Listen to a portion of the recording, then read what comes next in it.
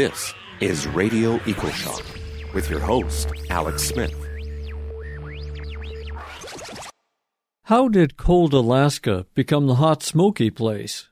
That was summer 2019 with record shattering heat, a pocket of drought, and smoke that choked out Anchorage and Fairbanks. Is a new climate emerging in the far north? Brian Brettschneider is a climatologist and researcher at the International Arctic Research Center, University of Alaska Fairbanks. You will find Brian's quotes in Forbes or CNN. He just lived through all that wildfire smoke. Brian, welcome to Radio EcoShock. Hi, how are you doing today, Alex? Pretty good. So I want to ask you the classic question: How was your summer? Well, this was the uh, the summer of warm and and choking on wildfire smoke in Alaska. Well, in in Anchorage in particular, Alaska was was warm everywhere, but the the core of that heat was centered in the uh, in the southern part of the state, and of course the uh, epicenter of the smoky conditions was also focused on uh, the southern portion of the state as well. Was it Fairbanks that actually smashed a record that they'd never seen before, as far as temperature goes? You know, it was Anchorage, uh, where I'm located, had the by far the warmest. Well, we had the warmest June on record. We had the warmest July on record, and then we just finished with the warmest August on record. and and any number of daily records just obliterated previous uh, high temperature marks. Uh, particularly, we hit uh, 90 degrees uh, on July 4th. I believe that's 32 C, and that was several degrees warmer than any uh, observed temperature ever, you know, in basically in 100 years of record keeping. And not only was it just a one day, we had a, a, a just a remarkably warm, about a, a two week period where we we had I think seven of our 10 warmest days on record in a two week period, and then it kind of eased off a little bit, but then it it warmed back up in August, and so we actually ended up with uh, record all time records uh, in August and uh, for dailies, but also for consecutive days in a row, uh, seasonal totals. So by by every single metric, it was the warmest summer on record. And not only that, it was the driest summer on record. In fact, if you take our summer precipitation, and if you were to double it, it would still be the driest on record. And so that was a major contributor to the wildfires we saw this summer.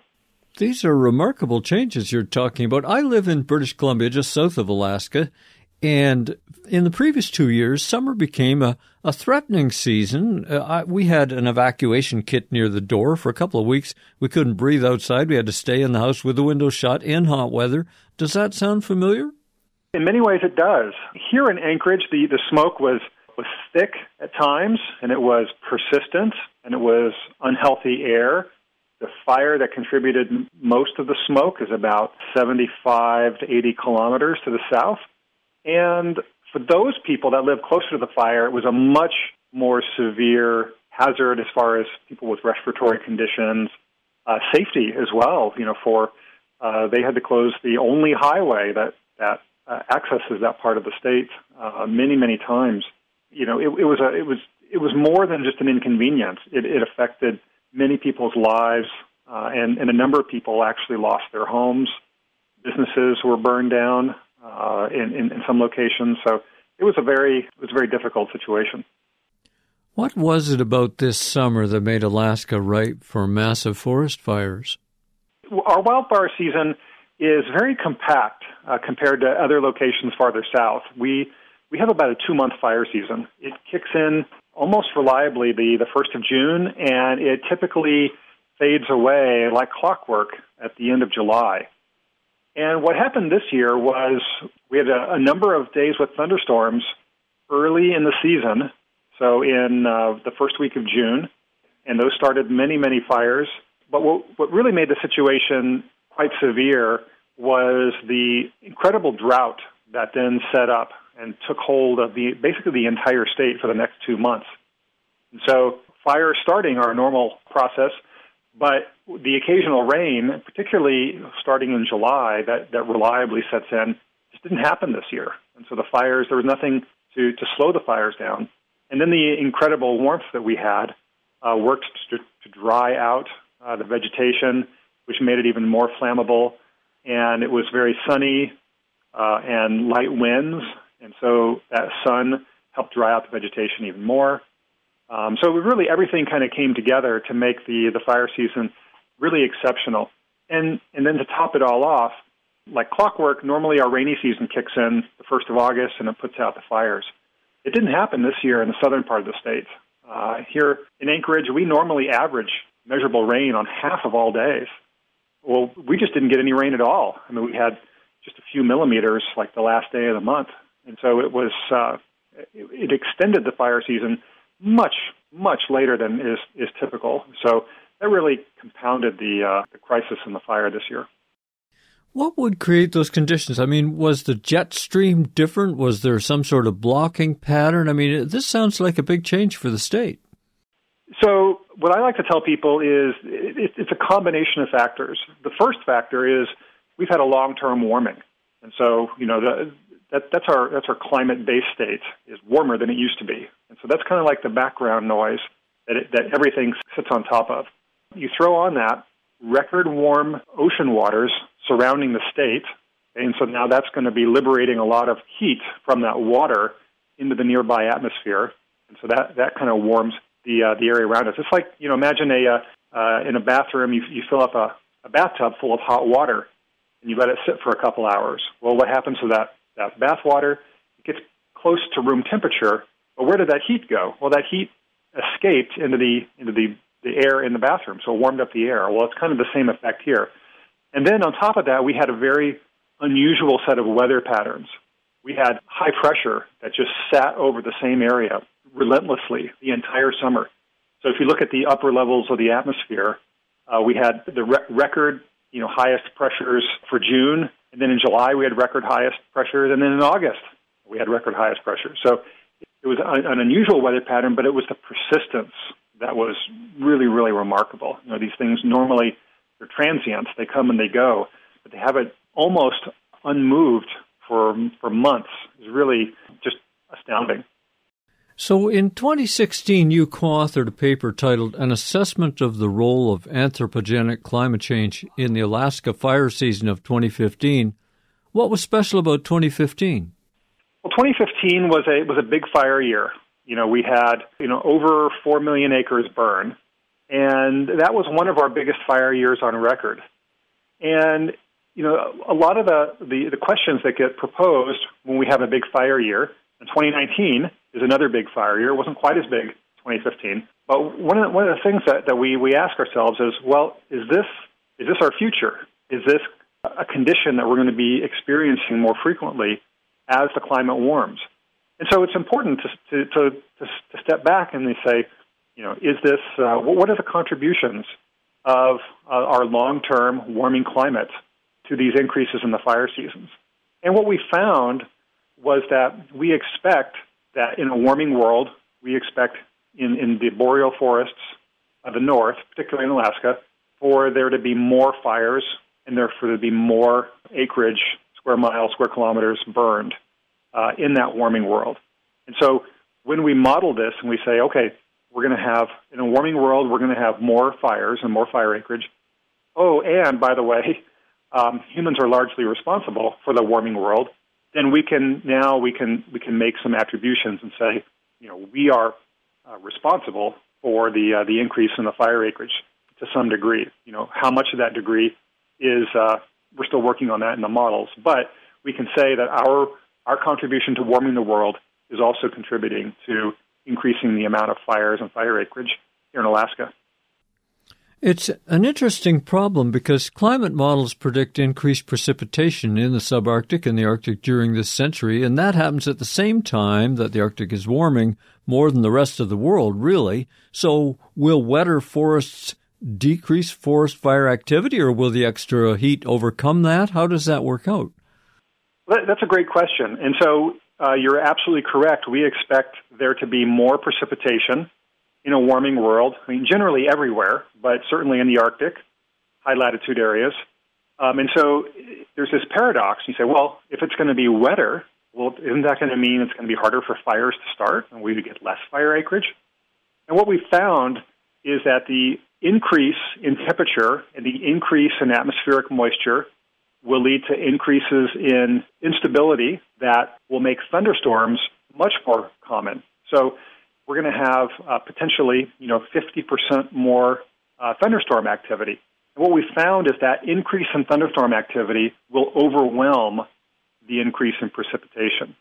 And so the warming temperatures will work to cause vegetation to become more biomass, so there'll be more uh, stuff to burn, basically. And when it doesn't rain, it'll be warmer, which will dry out the vegetation even more between the rainfall events.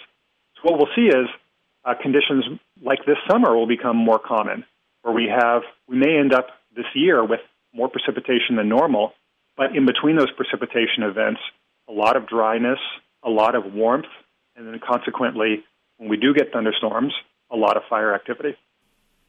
Yeah, you mentioned the lightning, and I, I think you said that around 2013 or one of those years there was a time when there were extreme fire conditions. Everything was ready to burn, but it wasn't a bad fire year because you just didn't get the lightning to spark it off. Yeah, you know, you need you need a, a certain set of ingredients for a fire, and you know, in Alaska, about 95 percent, and it varies year to year, but on balance, about 95 percent of the fire acreage is a result of lightning, uh, lightning started fires. And so, if you if you don't have those light that lightning that uh, to start the fires, then you're just not going to get it uh, th- that acreage. Also, it's, it's important to remember that fire acreage, fire activity is highly variable year to year. So we've had some very, very low fire years in the last decade. We've also had some very, very big ones. And so we have to be careful that when we look at a, a time series, you know, we, we have to look at these things over long time periods. We have to look at aggregations of years. So, for example, if next year we may not have many fires next year, and so would we say, oh, well, maybe they were wrong. Maybe we won't have more fire activity in a warming world. But you, again, you need to step back and you need to look at all the, the atmospheric parameters and are they coming together for thunderstorms. And so, because we have, when you deal statistically with uh, small numbers, when I say small numbers, I mean the number of thunderstorms. So, in an entire season, for example, Alaska may have as many lightning strikes as you might have in one day in a bad thunderstorm complex around Oklahoma City. I think a, few days ago they had almost a million lightning strikes around Oklahoma City, you know, in, in a 24-hour period. Well, that's more than we had the entire year. So you can have a, a couple of uh, lightning thunderstorm outbreaks that start a lot of fires in Alaska, or those may not come together in a, in a particular year, and they, you might not have many fires. And that's what happened in 2013 in 2008 and a couple other years in the last decade. But on balance, those number of thunderstorms is going up, the number of lightning strikes is going up, and the number of fires and fire acreage is going up. Well, we know the warming is happening across the Arctic and across the Northern Hemisphere, but I wonder did the same weather system help Siberia to experience the major wildfires that it had in this same summer as Alaska did?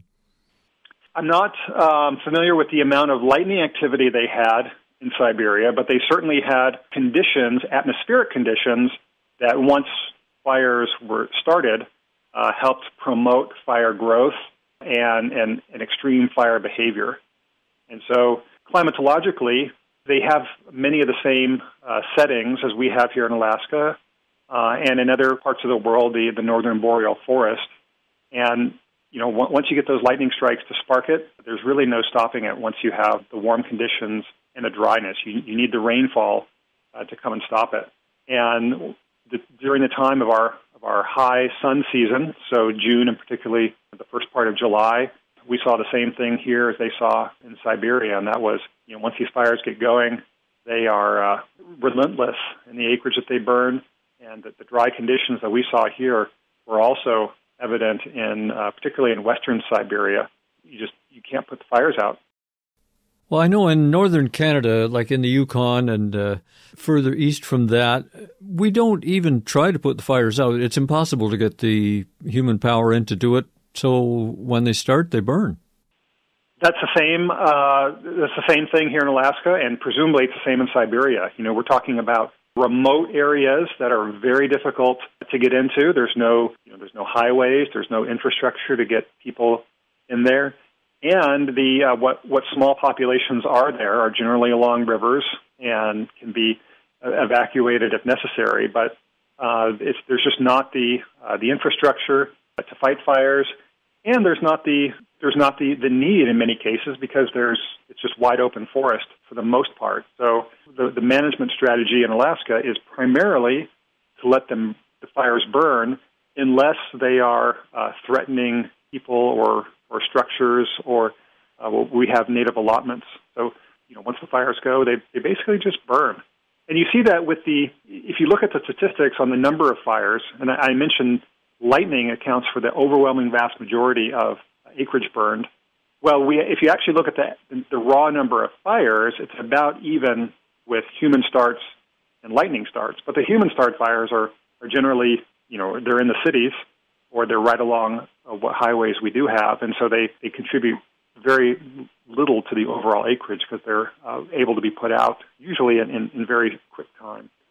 So, you know, fires are good for, for the ecology of a region, and so there are there are benefits to the fires.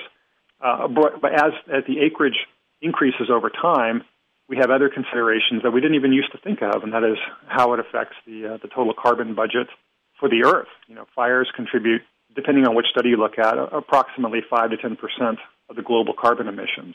If we increase the fire activity globally, then that contribution is going to increase. This is Radio EcoShock. I'm Alex, and we're talking with Brian Brettschneider from the International Arctic Research Center. I'm glad you brought up the amount of carbon released because climate critics used to say carbon from wildfires doesn't count because the trees will regrow and recapture the same amount of CO2. But I wonder if the scale of new wildfires, not just in the north, but we've got South America and Africa, whether that will speed up global warming. What do you think, Brian?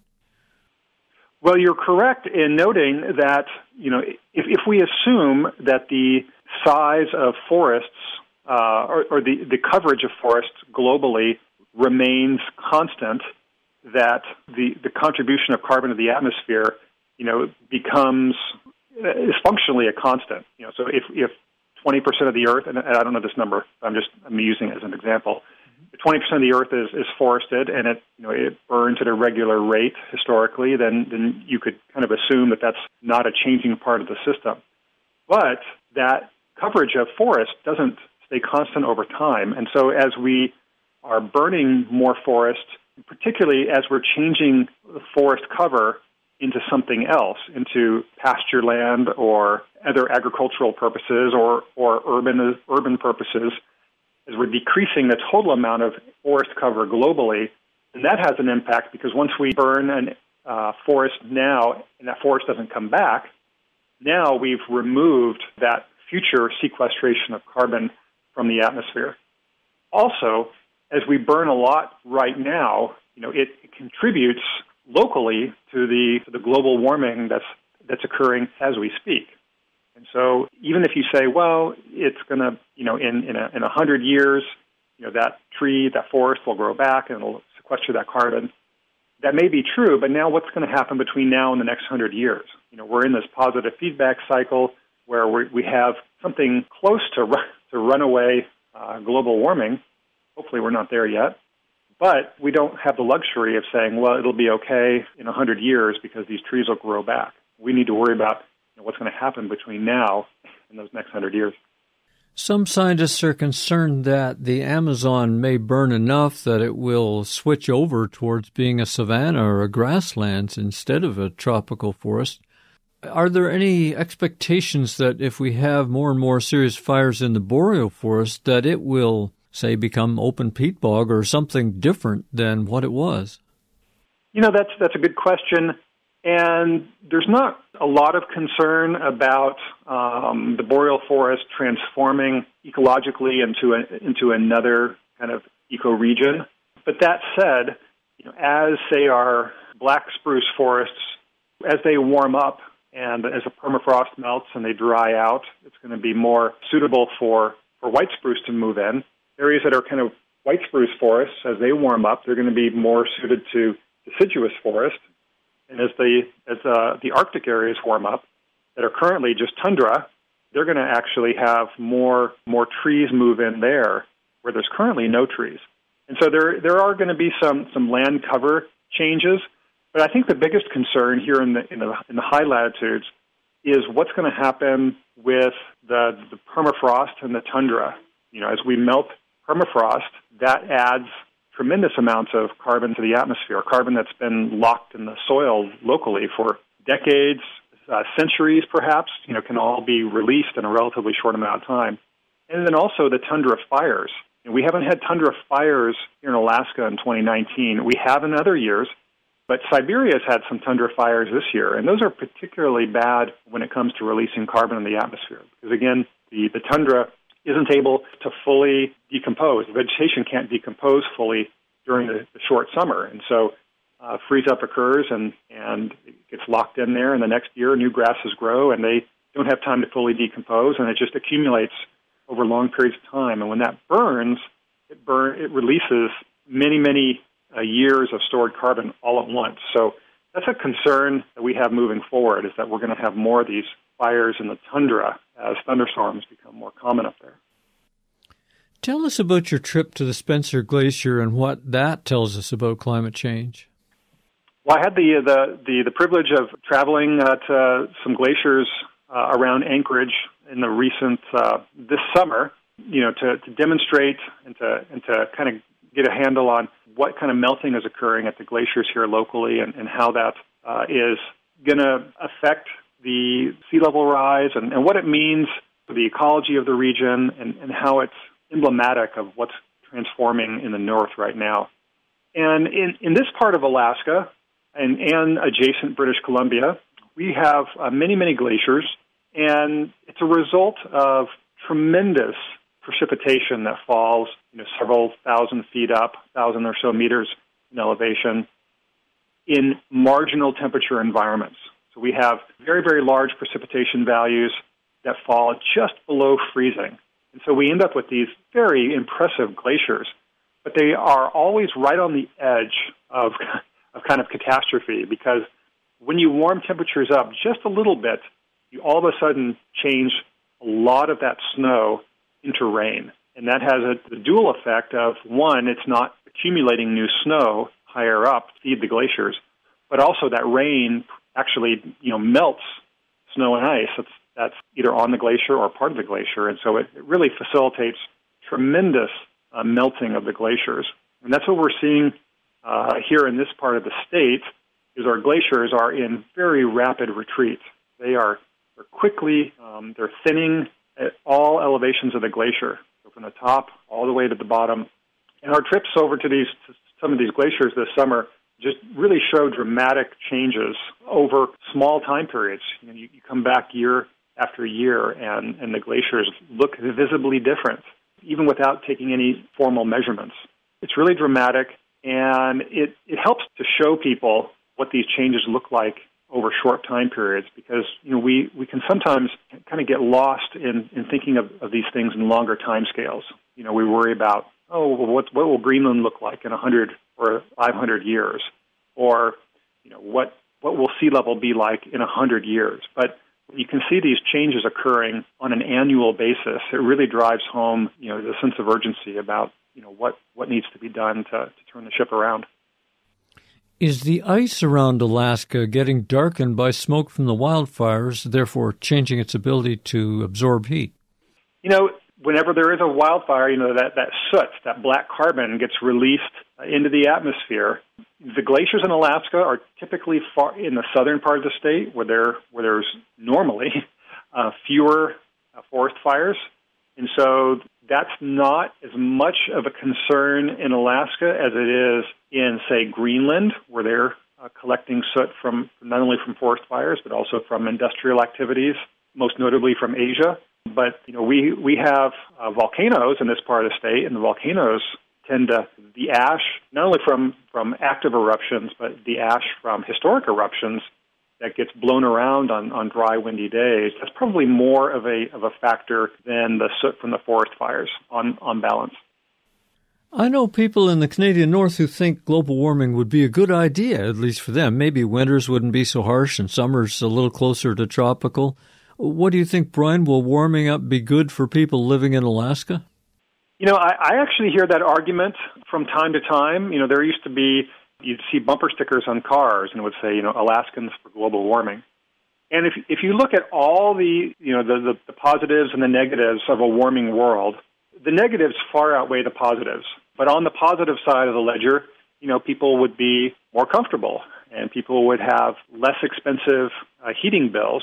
But on balance, you know, everything else is, is bad. You know, everything. You know, I tell people, you know, everything that that I love about Alaska and everything that that defines the characteristic of this place in all places, because the climate defines, you know, the look and the feel of a place, and everything is built for the climate. The way we build houses and, and all infrastructure is is a function of what the climate of an area is like. And as the climate changes, this place will become different. It'll become more like you know, Washington State or, or Idaho, which are great places, but they're not Alaska. And those places will become different. They'll become you know, more like uh, Nevada or, or Utah. And so as the climate warms, our sense of place becomes affected because the nature of locations will just, will just be different.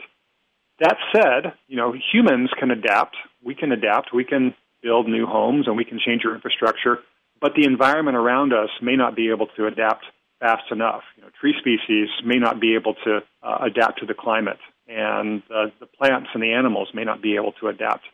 And so, while we may be more comfortable, the environment around us may uh, have a uh, kind of a catastrophic uh, downward spiral along the way. Well, if it burns down and the trees fall over because the permafrost is melting and the uh, the fish that so many in Alaska depend on going out to fish, if they disappear, uh, it doesn't sound really very good in the long run to have global warming, even there. No, and so you, while, you may uh, have a, uh, a, more pleasant summer to, to, outdoor recreate in, the activities that, uh, that, that people like to do for their recreation, like fishing or you know kayaking, you know those those kind of things, those activities may not be uh, left for us to do if the fish don't return or if the uh, characteristics of our rivers and our forests change. You know, everything about the uh, the place would be different, and, and it wouldn't be nearly as enjoyable. Is there anything else you'd like to add as we wrap up here, Brian? You know, one of the things that people like to, to ask me, they say, "Is this the new normal? Is this, is this our future?" And it's a complicated question, uh, and, and it, can be unsatisfying when we talk about probabilities. But you know, this this kind of summer is is unprecedented, and we may say, well, this was a one in a the, the odds of this happening in any given year might be one in a hundred or, or one in five hundred. And in the future, you know, we may not have a summer this warm again for another twenty or thirty or fifty years.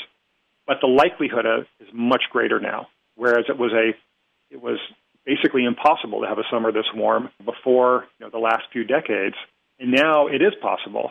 And not only that, it's going to be more likely moving forward. So we need to look at these things in relevant time scales because, again, next summer may be much cooler, but the likelihood, the probability of, uh, of these kind of extreme summers is much greater moving forward than it's ever been.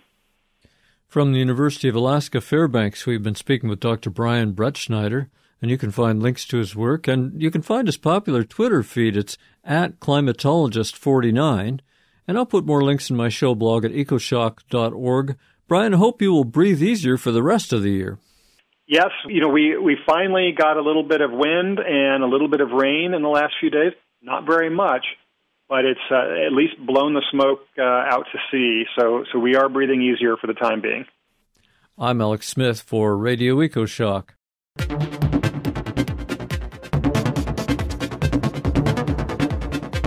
That's it for this week. Thank you so much for listening to Radio EcoShock.